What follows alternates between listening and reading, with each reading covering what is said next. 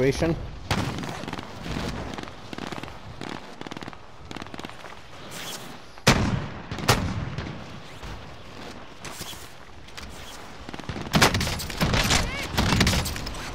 Oh my god! That might. Oh, I gotta save that one. That is the coolest freaking highlight.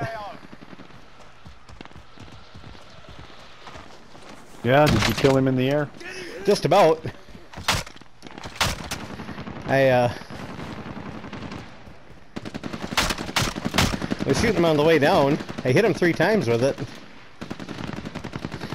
And then I got him at the end. Alright, that's enough fucking about.